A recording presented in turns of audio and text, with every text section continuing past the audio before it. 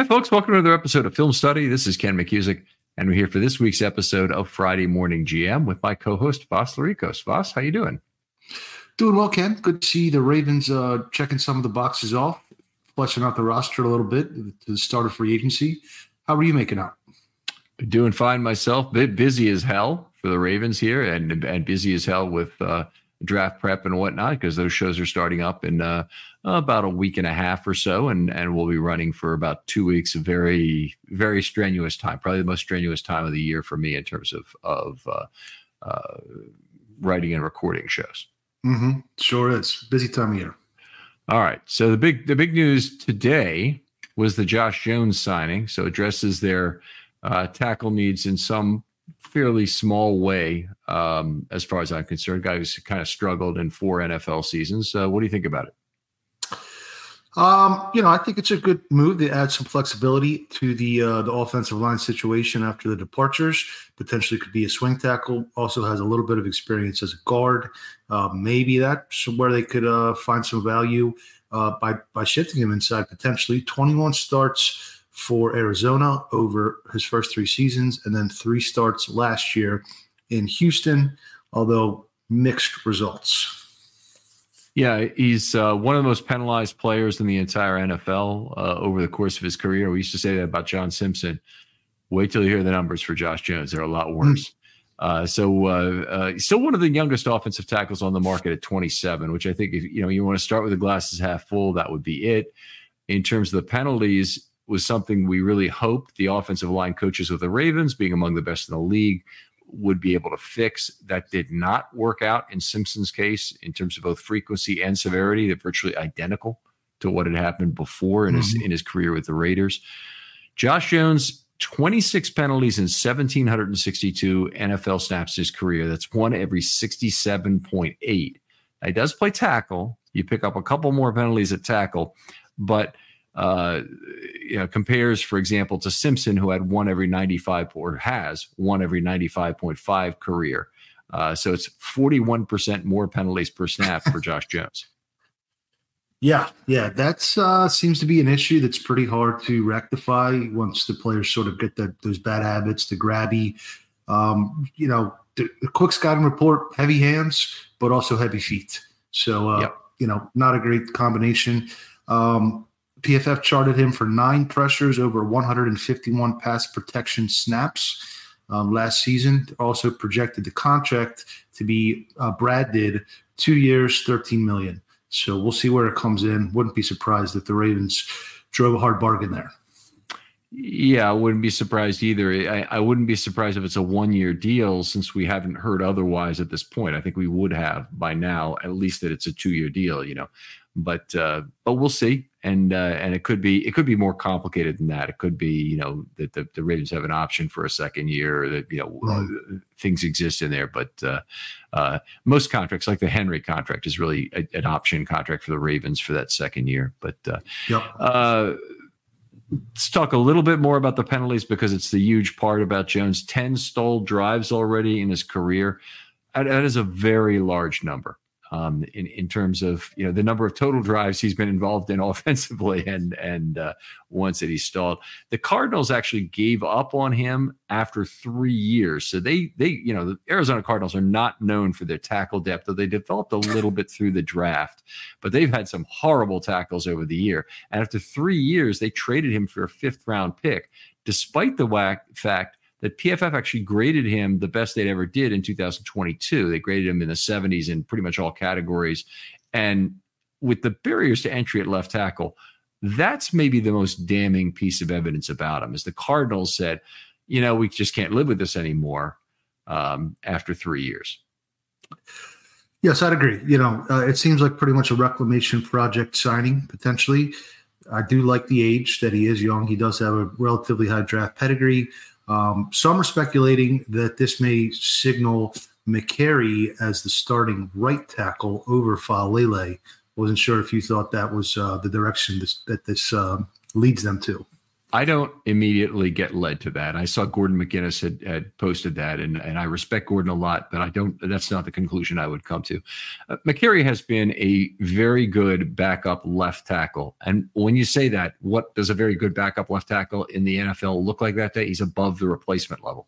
If you mm-hmm. had to mm-hmm. go to him, and that's what exactly what Mekari is. He's not good, but he's above the replacement level, and that's a that's that's a very solid place to be. The Ravens are paying him four four point four million this year to be a backup left tackle. If he went and played guard or right tackle or anything else, I think it would be a um, potential reduction in his value. Not only would he, but you know, it doesn't really have the strength or the power to to, to play right tackle, um, but he, but he also, um, if if you lose him over there and he can't play left tackle at some point, as happened with Tyre Phillips in 2021, you, you just have a, a, a, much worse situation on your hands. So I think he stays as the backup left tackle. That'd be my guess. I'm guessing a starter, a, a draft pick, or Jones ends up being, or or or potentially Faalele ends up being the starting right tackle. But the Ravens are running into a position now where they're going to potentially have to cut a tackle anyway. If you look at it, they're they've got, you know, they've got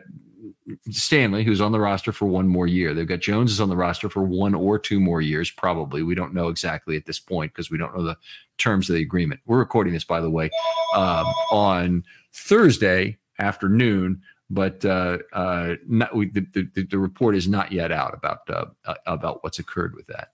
So, you know, just in terms of the, the Faalele is on currently a two year plan before he's out of here in terms of his mm-hmm. uh, time being up. He's actually potentially on the cut list for this year.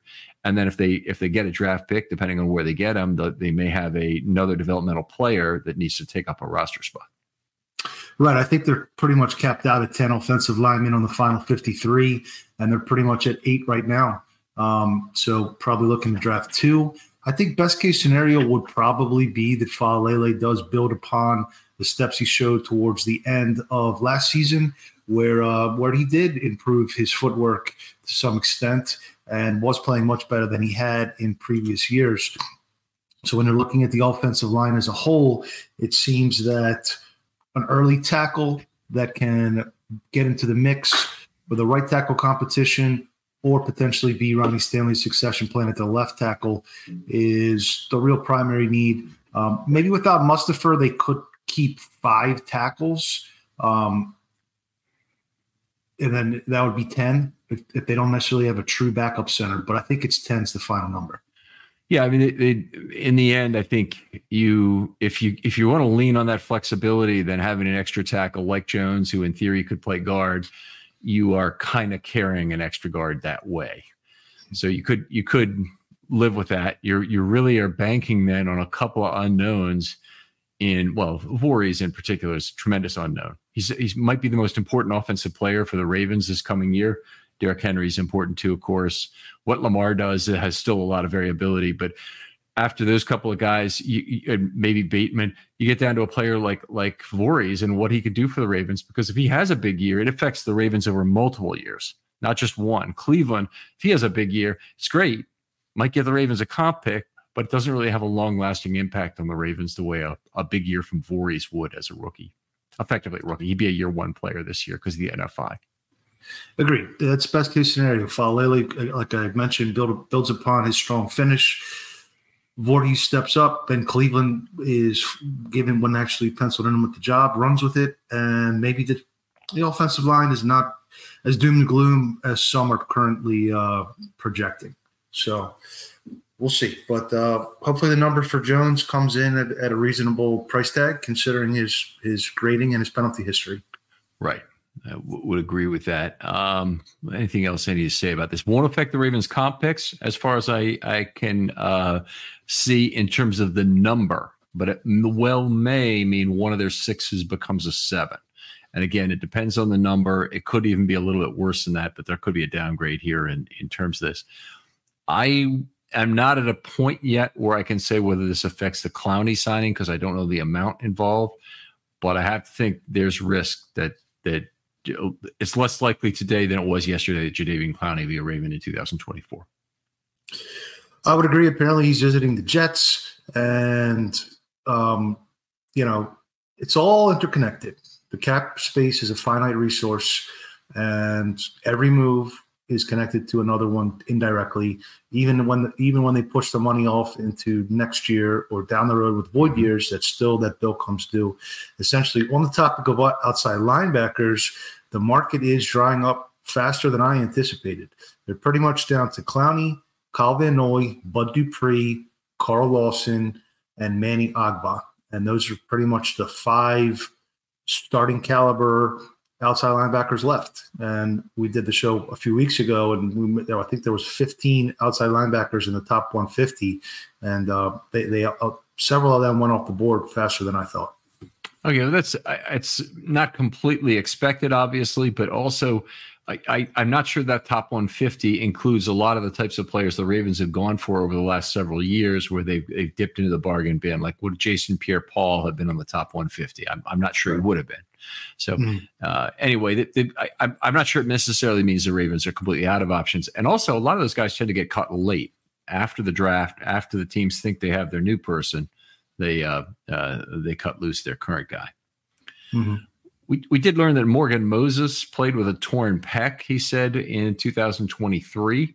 Uh, Warrior, obviously, but but maybe maybe explains a little bit of why the Ravens decided they had to move on with this trade. Um, I'm not sure if I quite see it that way. If he was able to play through it and still play reasonably well, and now he's had surgery six weeks ago, there's one way to look at it is to say he's potentially going to be better next year with a with a healthy, you know, without that restriction. But um, you know, they they made the decision. Obviously, a lot of turnover, overhauling the offensive line, and that was one of the decisions they made. So we'll see. We'll see uh, how it goes. All right, let's talk. Uh, keep keep it on the plus side right now, which are some of the other new signings in terms of, of, of adding players. Uh, Maulet re-signed for two years. Uh, solid play in 2023. I have not seen contract details, but he played 35% of the snaps as the nickel. Most of those on passing downs when Hamilton was moved back to the back end. Hamilton, the more common early down big nickel player. I like Maulet. I think he's physical. I like the way he plays. He's a good blitzer. He's pretty pretty uh, tight coverage, at least at the first and second level. Maybe obviously we saw Valdes Scantling uh, got him over the top, up the seam. But um, a little surprised that they decided to bolster slot cornerback before perimeter cornerback. If you look at the roster, they have essentially five players who have all shown signs of playing well in the slot versus only two um, on the perimeter. So a little bit surprising there. And I'm not sure if this means that uh, Hamilton will be, playing deep uh, more often next year. Yeah, I, I I would not be particularly happy with that. I want him to be a you know somebody that can play anybody, but primarily as the nickel. But in, when you talk about the the relationship between deep and slot corners, you have Humphrey and Stevens as being uh, the outside guys who are who are plus, and then you have Washington, Maulet, uh, and who else in terms of slot corner guys? Hum, Hamilton, Hump, Hamilton, Humphrey, Humphrey again, and okay. I think and I think Pepe, his rookie year, I have more confidence in Pepe in the slot than I do in Armour Davis uh, on the boundary at this point. Um, That's fair. So that could go either way, but a lot of options there. Um, I really don't want them to draft a slot only cornerback in the draft now. I will say that. Yeah, I, I can. I, I, mean, I might not have wanted that anyway. If if you've got mm-hmm. Hamilton around, you, you, you probably don't want to waste somebody on somebody you, you, you know who is best served playing for a team that will play you know ninety three percent of the snaps in nickel or ninety two percent. Um, it's it's a yeah. I I I I wouldn't want that. Mm-hmm. Um, Maulet, I I there's things I like about him. He's a feisty downhill player. I like him as a hitter. Uh, does have kind of a high missed tackle rate that's a little bit troublesome at 20%. And I think if you want to pick the cornerback who benefited most from the Ravens' two high looks, I think it might be Maulet. Um, mm-hmm. did, did pretty well also because the inside linebackers actually gave up 8.2 yards per target for the year. That doesn't include the, actually, no, I think it does include the postseason as well with that. But, uh, you know, not, not great in, in terms of the Ravens' general level. Modestly surprised that they re signed him for two years. Where are you on that? Yeah, 30 years old. So, you know, a lot of corners hit that 30 year old marker. Same as running backs. Those are probably the two positions where once you turn 30, it gets a little dicey. A little bit surprised. You know, maybe it's just playing a, some some cap gymnastics um, as well. I think they probably also value him as a special teams core uh, performer. So maybe that's where it is. But I, am I'm, I'm hoping this is pretty darn close to the veteran minimum and uh, and not a, a little bit too generous of a number there for Maulet. Right. I, I, certainly wouldn't want it to be two years, five million. Let's put it that way. So uh, if it's he had two hundred thousand in guaranteed money last year, so he didn't come here with a with zero leverage with the Ravens. Mm-hmm. He, you know, he, he might, must have had other offers if if they got to a point where he had two hundred thousand guaranteed. So uh, anyway, you know, not a bad player by any stretch. And by the way, he was in there primarily on the passing down snaps. So I would expect his his yards per target number to be or to have more challenging assignments in terms of coverage. Let's put it that way, and and probably end up with a yards per target that's a little higher. Um, but it, it was uh, primarily Hamilton on those early downs uh, playing more. He slumped a little bit towards the end of the year. Maulet, about three quarters of the way through the year, he had very pretty some gaudy some gaudy yards, yards per target numbers, and then the last quarter of the year where they started picking on him a little bit. Yeah.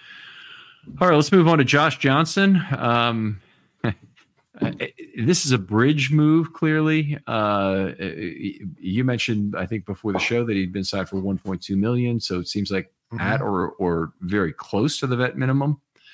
Yeah, guaranteed. That's the that's the key part. Is it's 1.2 guaranteed. So uh, that's according to Brian McFarland. Um, perhaps he's the backup quarterback. Uh, uh you know, I, I, hope that they can get away with only rostering two quarterbacks on the 53. Last year they had three the entire year, even four towards the end of the year. Mm-hmm. Um, so to guarantee that, to have that guaranteed, I think uh, should probably pencil him in as the backup. I, I, would think so, and and we may be living in a time where where teams really feel like they need to carry three because the extra third player activation on game day that you get. Um, I don't think there's enough of an incentive for that to make it something you have to do. But I think it, when it, it, it, when it occasionally comes up, you've usually lost the game anyway because your starting quarterback is out, your second quarterback is out. You've usually lost the game anyway, so it's not that much of a bonus to to bring in a right. uh, another uh, Malik Cunningham instead of say Willie Snead from years ago. Or Derrick Henry. I think Derrick Henry could be the emergency quarterback based on the plays he's put out in, throughout his career. Yeah, I, I, don't think we'd be calling any passing plays, but you might. You might call a passing player too. Uh, I, I, just the only thing I could I think of when I think of a Josh Johnson signing, a guy at 38 years old coming in and being the backup quarterback, is in the words of Marge Simpson, "Let us never speak of him again." I don't want to hear his name. Okay, yeah, he's going to be the, the, the second or the third quarterback on every 53 man roster projection we have to make, and we're going to do a two player show on him this this summer and whatnot. But uh, the less we hear Josh Johnson's name the entire season, the better. Absolutely. Absolutely true. All right. Chris Board. Um, uh, I, I have not seen officially that he signed. I did I did see that it was uh, projected to happen, so I assume it is. But the Ravens haven't put it out on their uh, on, on their Twitter yet. Last I looked, which was about an hour ago. Hmm. Um, mm. I'm assuming this is at or near the vet minimum. Also, should not affect comp picks in any way. Um, special teams, backup Mike role. What are you seeing?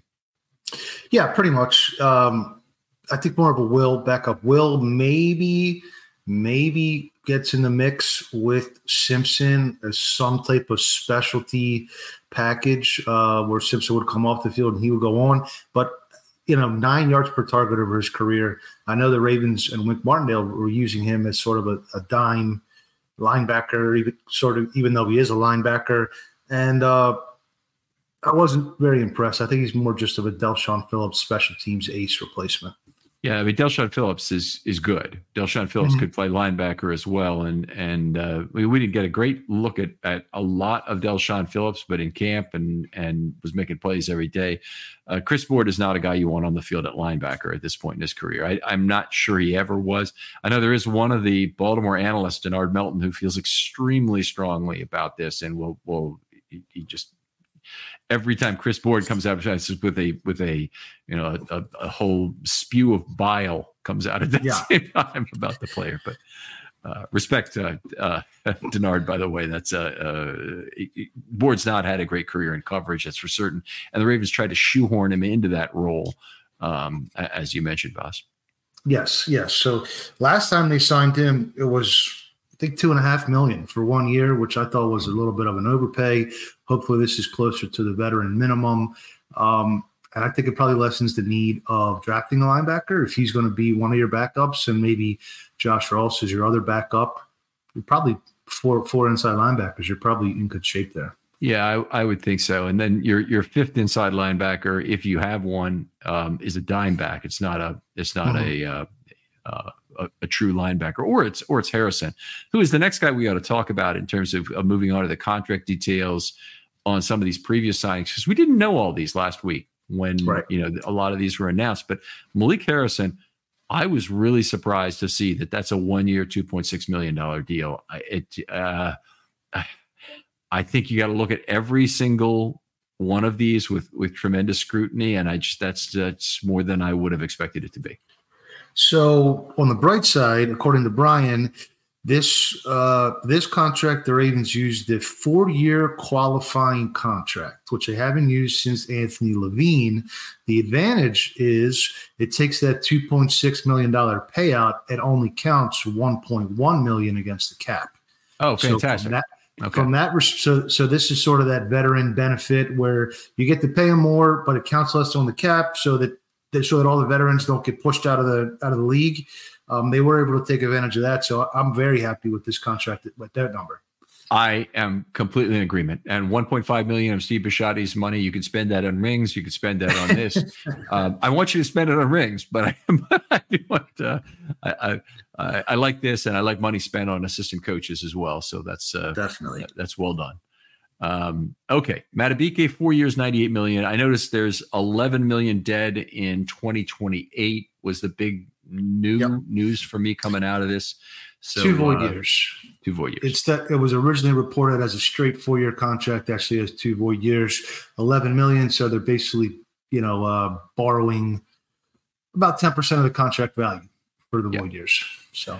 Yeah. And uh, the the the tough years will come in 20, 26 and 27 when he'll be over 30 million or at, at or over 30 million both years.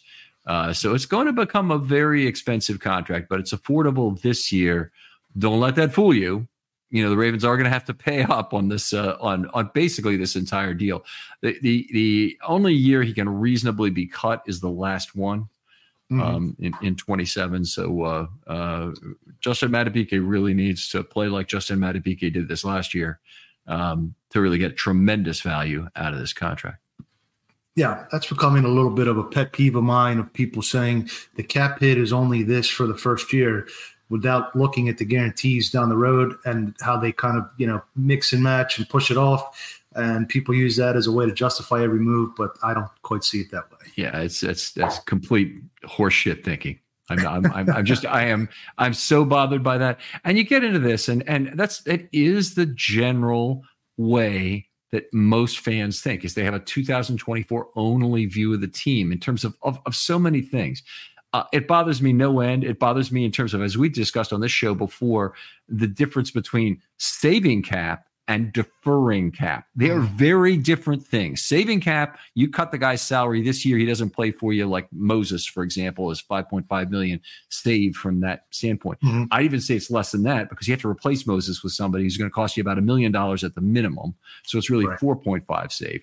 But anyway, that's that's, that's the save number. You call it 4.5, call it 5.5, you're fine. If if the um, in terms of the deferred number, um, you know, you, you if you put off cap like they did with OBJ and you know mm-hmm. move the void years out a year, you're not saving cap.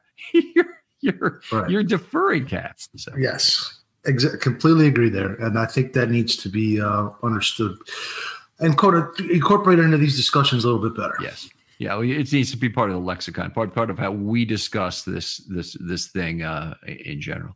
Let's move on to the Stanley restructure uh, 2025, where he was certainly going to be cut because there's a $20 million savings, actual savings, $20 million salary the Ravens wouldn't mm-hmm. pay, um, uh, was not going to be paid. But now they've turned that into a, a free agency year, actually a void year.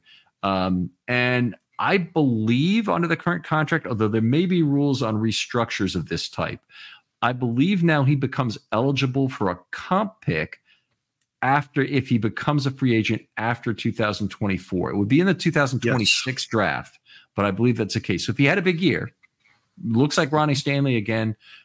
Hopefully the Ravens can extend him, but if they can't, then somebody else gets him, and the Ravens get a get a comp pick, and it, and it might be a good one because hey, he's a left tackle.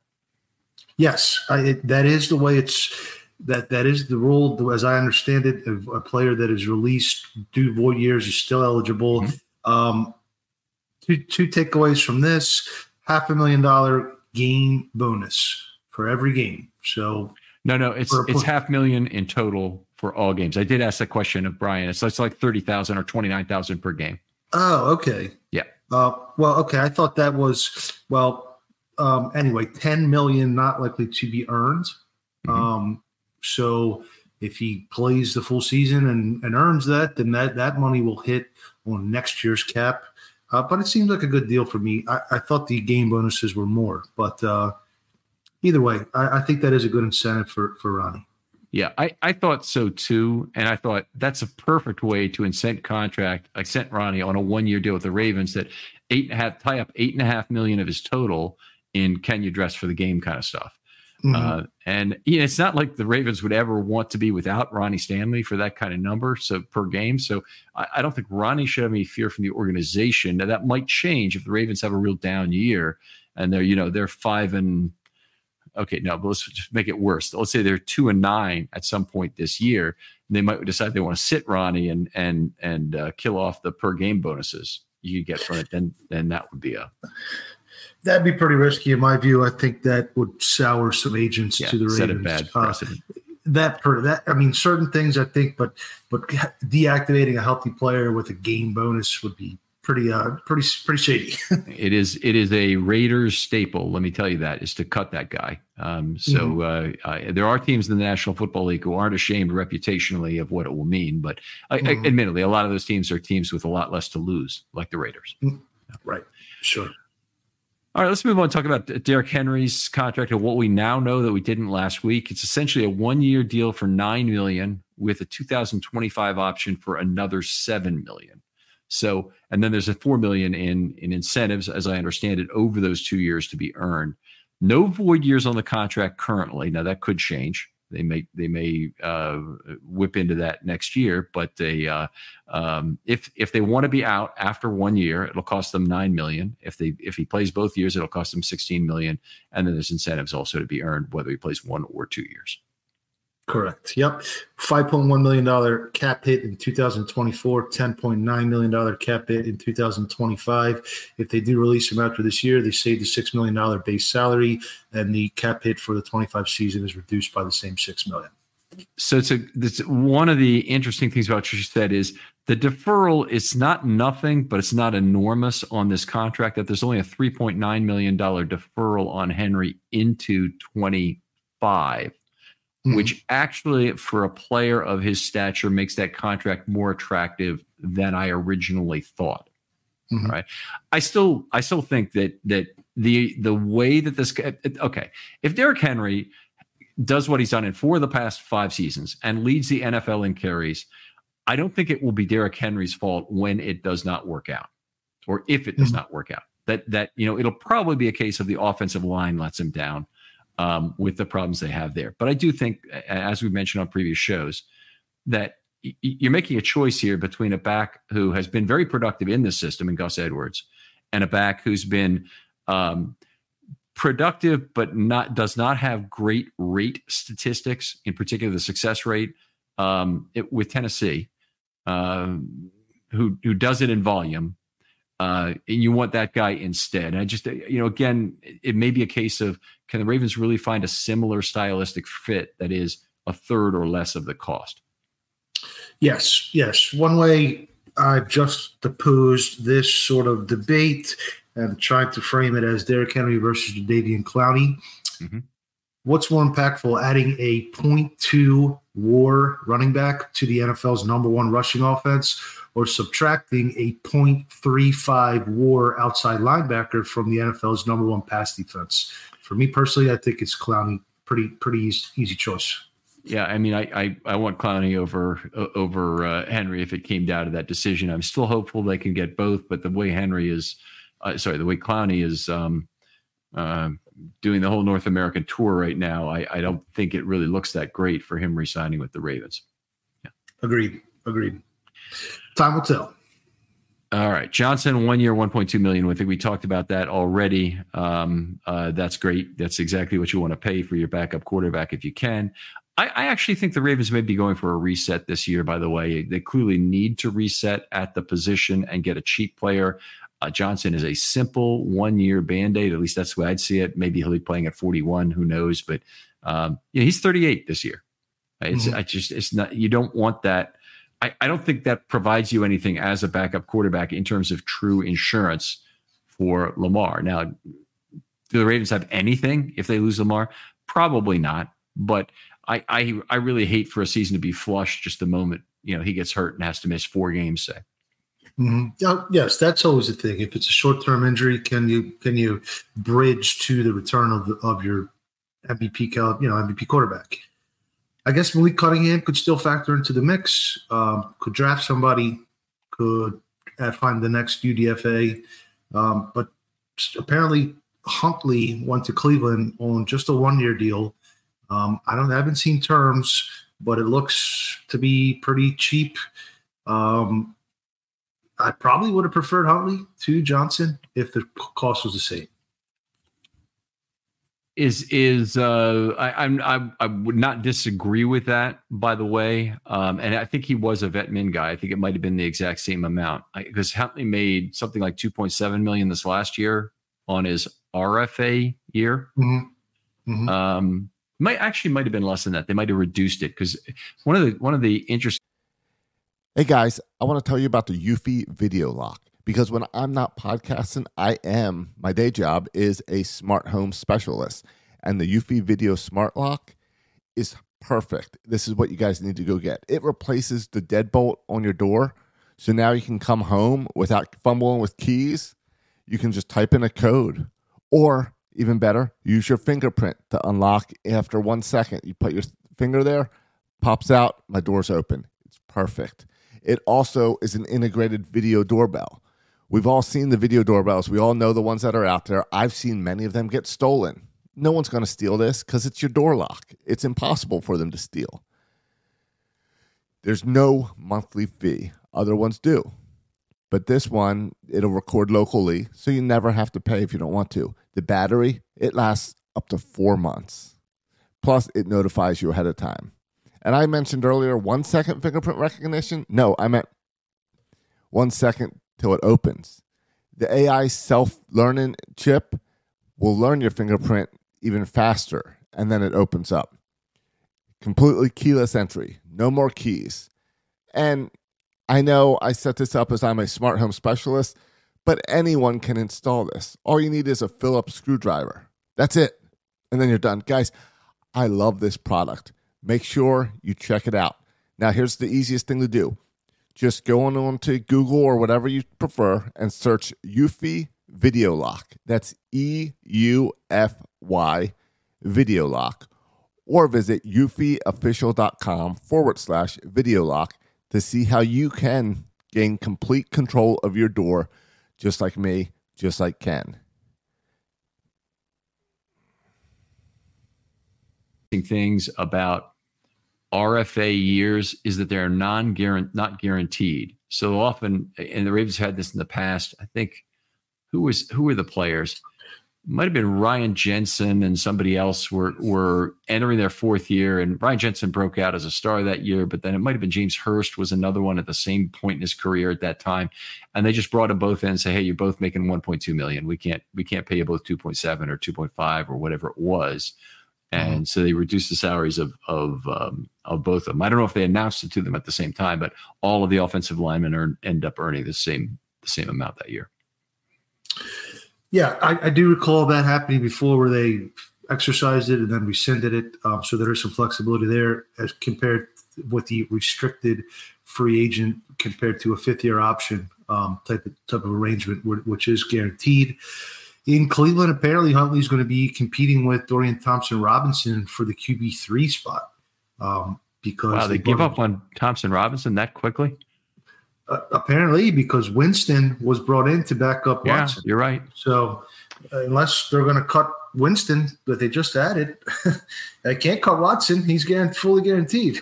yeah, you can't cut DTR because he'll be he'll be picked up. But if they they, they could have have Huntley on the practice squad as the year starts, and then bring him back as needed to be the QB 3 mm-hmm. So I, I I would think that's the more likely eventuality for Huntley, but uh, but we'll see. That's that's interesting. I mean, the Browns needed every one of four quarterbacks last year to start games, right. and and so they uh, uh, they clearly are, are being extra careful at the position. Okay, let's talk about the Michael Gallup visit. Uh, former or former current, I guess, Cowboys receiver. Um, I, I'm I'm not that juiced about Michael Gallup. What are your feelings on this? I was a pretty big Michael Gallup fan, even going back to pre-draft, and he had a pretty terrible knee injury uh, about a season and a half ago, and he hasn't quite gained that explosiveness back. I do think he fits the um, the profile of what they need as far as a perimeter oriented receiver. He lines up about 90% outside, so he's not a slot guy who's going to be a direct competitor for Agholor. Agholor pretty much a slot guy at this point. Um, seven and a half yards per target in 23, not great that's not great. Um, and I didn't check for his career where he is. Maybe you maybe you have a better idea on that. And i am just looking it up right now. I'm going to take a moment. But yards per target for his career is 7.8. He was actually 5.7 in 22. So and was better early in his career with a peak of 9.8 in 2019. Um, you know, he's played in a Dallas offense with Dak Prescott that I would think would be pretty much tailor made for him, particularly with the other receivers there and the attention they would get. Mm-hmm. Um, did peak out with over 100 targets in both 19 and 20. So, um, yeah, uh, it, it, he's a player. He's had four straight, he said three straight rather, 418 to 445 yards seasons for what that means. And, uh, um, yeah, it's, it's, I'm just, I'm not, I, I wouldn't be thrilled with it as signing. Maybe there's a price I think it'd be worth it to have him as the fifth receiver, but I, it's, it's not a, not a player that really excites me. Yeah. I, I'm not overly excited. It could be like an Agholor though, where you sign him yep. and then he plays better in their system. He regains, you know, whatever he had lost. I think I'd like to have four veterans if you can. Um, you still need to have two receivers if you're going to roster six. So you want to take two in the draft or one veteran. If he's cheap, I, I would I would be pretty uh pretty satisfied with that one. Are you including Wallace in that in that number? You have Wallace as number four right now or not? Yes, I'm sorry. You're right. He he is. I, I misspoke there. But uh, Wallace would be four. So Agholor, uh, Zay Flowers, and Rashod Bateman. That's your four receivers. So you need two more to make six. Okay. All right. That that works for me. And then one draft pick, one free agent, which I think is the likely way the Ravens will go. They could go two draft picks. Um, when they've used where the Ravens have really failed They've they have been had not great success at number one in terms of drafting receivers, though recently it's been better in that area. Where they've really failed is with mid round draft picks at wide receiver. Those guys they they just haven't gotten any value at all out of them. Uh, so anyway, the the you know the the Jordan throw the ball into the pond, Lasley and um, mm-hmm. and uh, Jaleel Scott and those guys. Yeah, yeah. There there's a not their not their forte, but I would say um, DeCosta has shot more shots and and done better there. You know, I did a study a couple years ago. Top seventy, if you want year one production out of your receivers, the vast majority come from the top seventy-five in the draft. Puka Nacua broke out last year. Uh, maybe the exception to Peruzzo. Yeah, yeah, yeah. Very good. Um, all right. Well, let's uh, do some free agency tracking and just make sure we're keeping up with this. Ravens now lost ten players, make it eleven, I think, actually now. Uh, Duvernay to the Jags, Simpson to the Jets, Stone to the Bengals, Edwards to the Chargers, Darby to the Jags, Ott to the Commanders, Queen to the Steelers, and Del'Shaun Phillips to the Texans. We know about all those last week. Those those eight. Okay, and there are two more this week that we haven't discussed yet. The first is well, okay. The first is Tyler Huntley. Um, we think it's it's near the the vet minimum. I thought I saw a tweet that indicated that. um, within the last 90 minutes or so. But I might be wrong about that. So we'll we'll wait and and make sure that's uh, that's right. I think we may have talked that one out in terms of of the mm-hmm. need to reset at that position. Yeah, uh, you know, uh, hypothetically, you want to have another four-year cheap guy with some with the ability to bridge through if Lamar misses a, a few a few games here or there. Sort of how Huntley was. Um, if you can find the next Huntley, that's probably what you're looking for maybe yeah. a little bit more arm strength.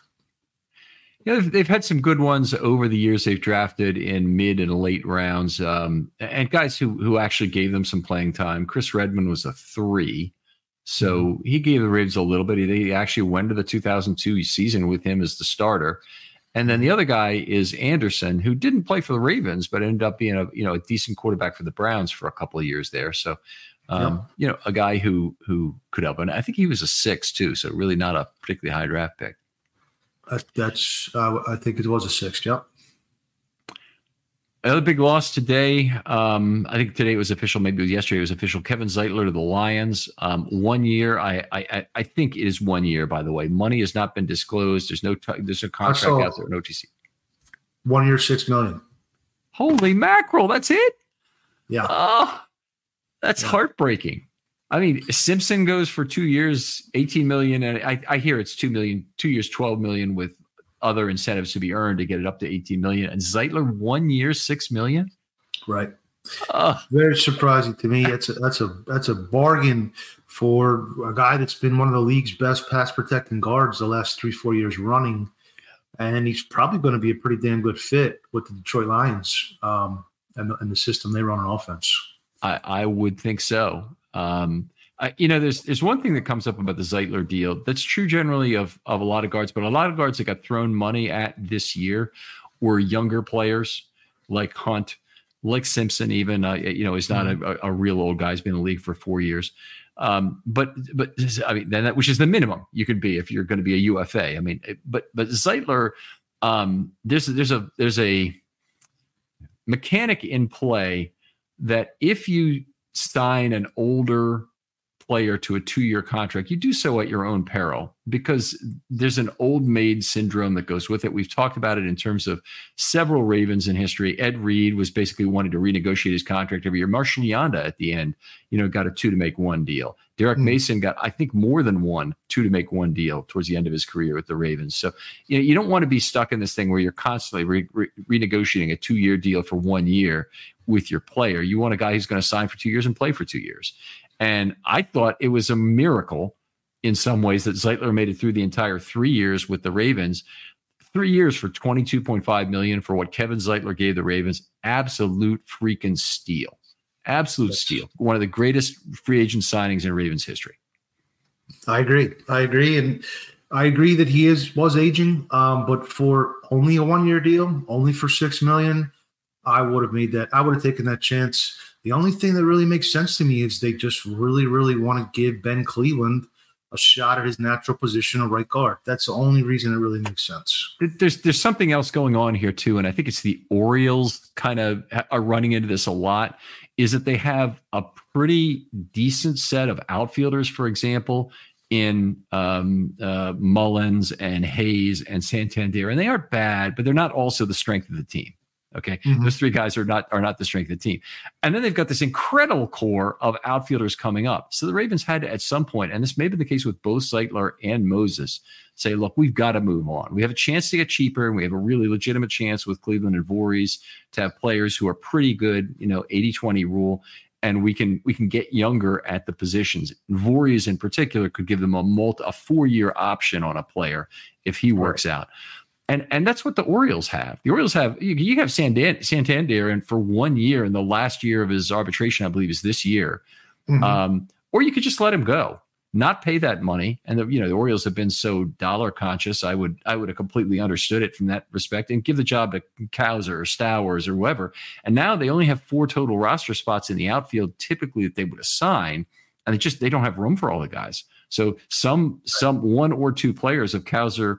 Um, Kjerstad and um, Stowers are gonna are gonna start the year in, in AAA, and you know in the infield, same problem. You know, you got Mateo and Urias, and and uh, and and then they have uh, you know potentially a player like Norby gets sent back to the minor leagues before it. I don't think it'll affect Jackson Holliday, but it affects a player like Norby.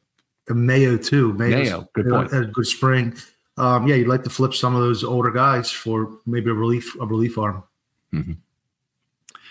So anyway, uh, really sad to see that. Um, I'm happy Kevin Zeitler got a gets a shot with a contender, so that's positive. Maybe the Detroit Lions make a Super Bowl finally with some of his leadership, but uh, uh, definitely a, a, heartbreaking amount of money the Ravens are letting him go for in, in terms of my view of it.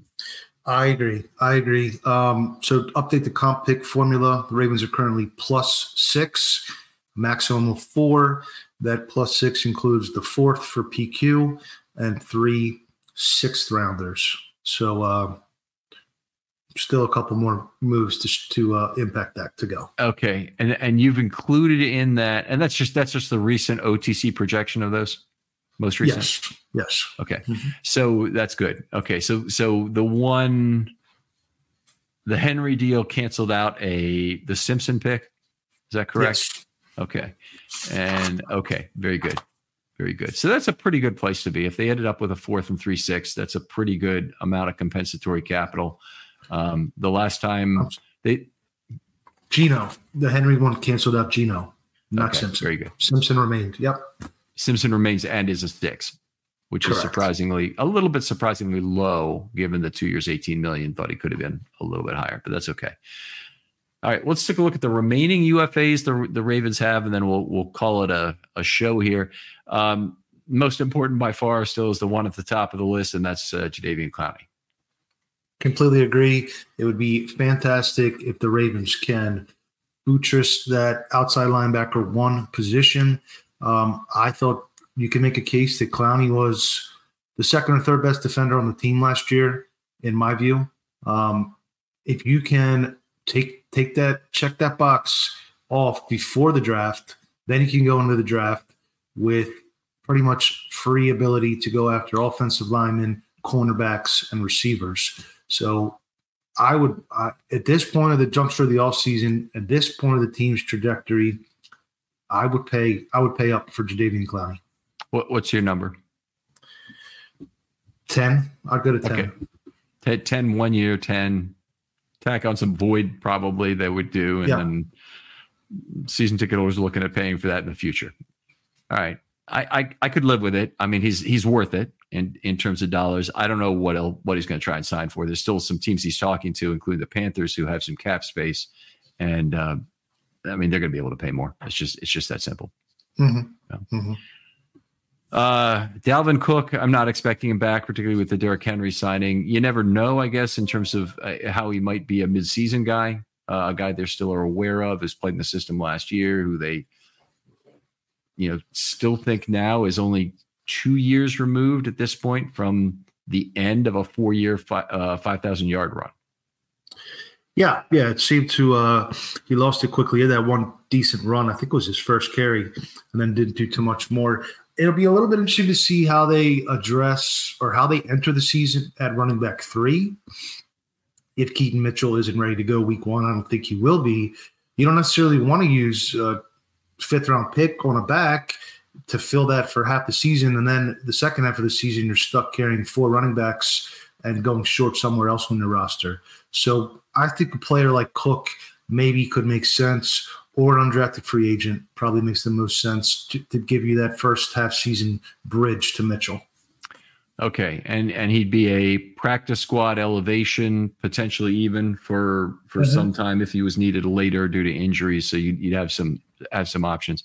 If you have a good player at running back, good chance you're going to lose him through that process. The Ravens have, have lost right. Mizzell and Mostert through that process, and and mm-hmm. they're they're guys certainly that uh, went on to do some things that were positive.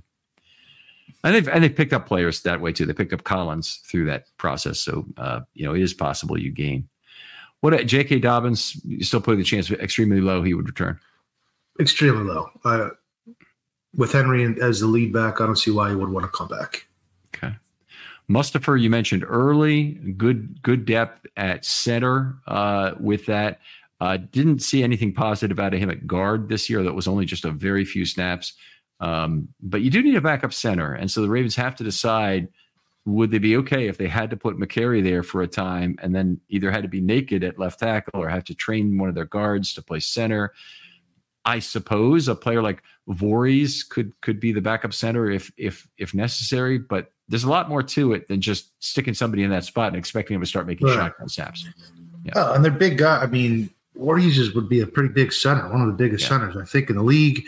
And then you have maybe some leverage issues. Um, yeah, I'd like to bring Mustipher back. You know, if he signs again for the veteran minimum, and then you have that, uh, you know, veteran offset where you get a little bit of money credited back to the cap. That's pretty much the same price as a rookie or a, even an undrafted rookie. There's only a few hundred thousand dollar difference. So yeah, I'd like to have him back if you can.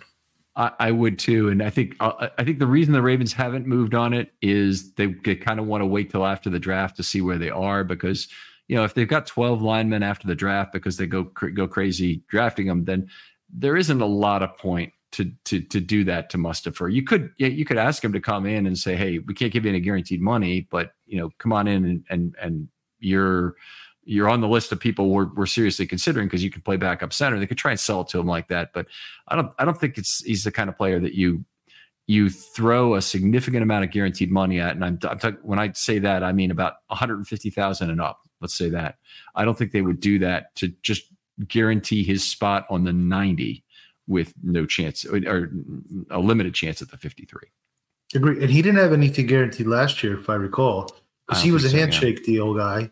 And then yep. he went down to the practice squad for about two, three weeks. And then when Mustipher had the high ankle sprain, that's when he was finally promoted. And then he stuck stuck out the rest of the way. So if you can do that again, but then maybe again, he maybe he put his tape that he put out last year playing for the Ravens boosts his market value a little bit. Yeah.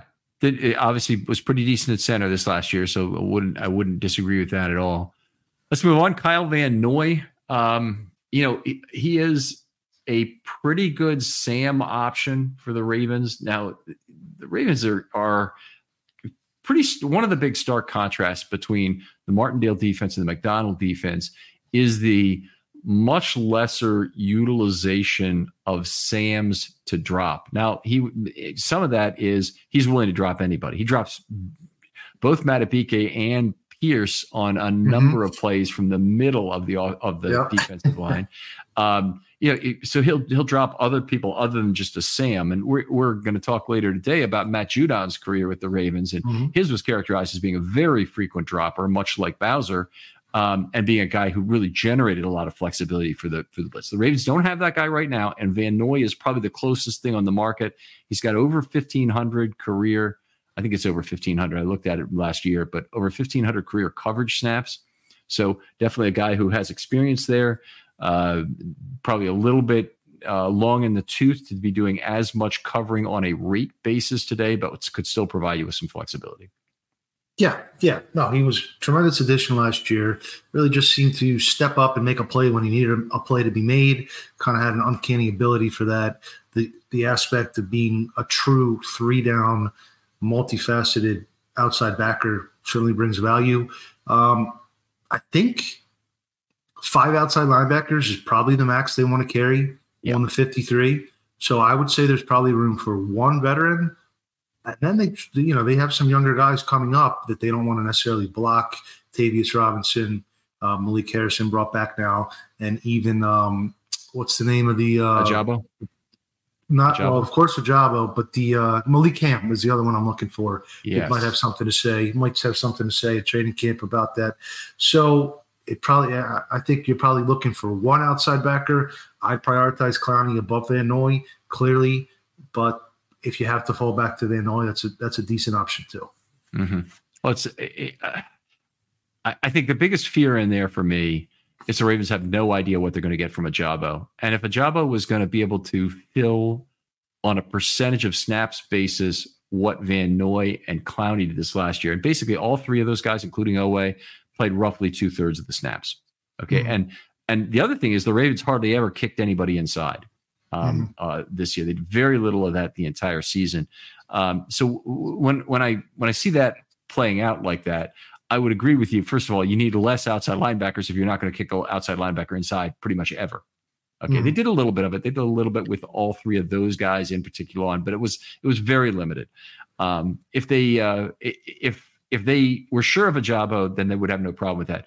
I'm as unsure about Ojabo as I am of, of any player on the roster in terms of where he's going to be. The, the, this I wouldn't say the sky's the limit anymore. I think there is a ceiling that is that is is coming down, uh, but there's still mm-hmm. still got a little bit of headroom there, and the floor um, has dropped in terms of mm-hmm. what it what it could be. Um, but he's but there's a wide wide variation of where he could end up from basically not ever being a productive NFL player to still being a pretty darn good pass rusher at least on a situational basis. Yes, that's how I see him.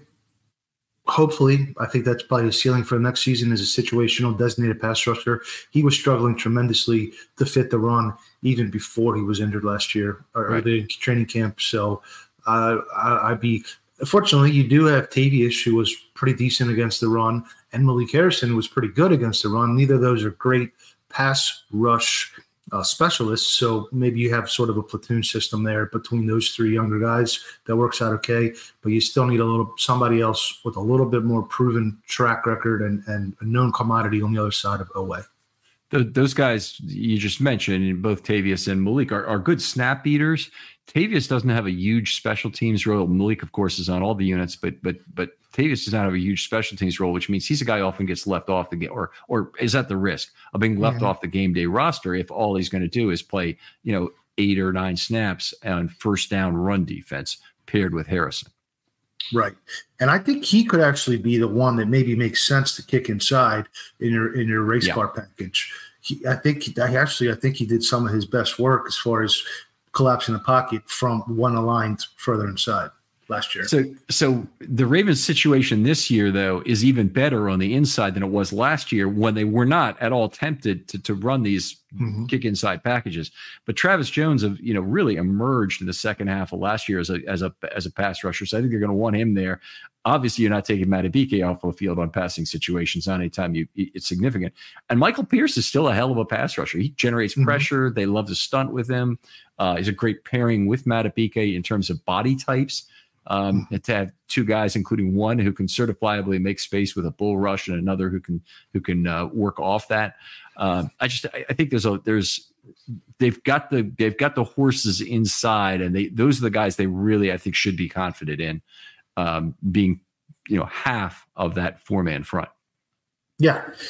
Yeah, if they could bring Clowney back, I don't see why they wouldn't be up close to the league leading sacks again. I mean, they're, they're retaining the entire defensive line. Simpson, from what we saw, is probably can 80 do 80% of the blitzing that Queen did. Mm-hmm. And you have everybody else coming back. And I, so, yeah, I, I, think they have the makings of a very good pass rush. Just need that one veteran edge to, to round it all out.